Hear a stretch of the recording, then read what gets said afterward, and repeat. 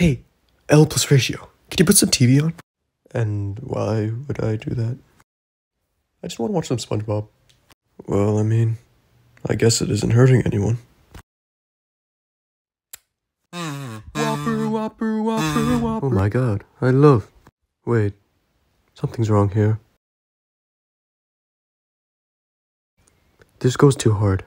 That's right. He's already fallen for my trap. With the money that I own, I bought out Burger King. And now, all the money that I make will be poured into homophobia and racist comments. Man, I can go for some McDonald's right now.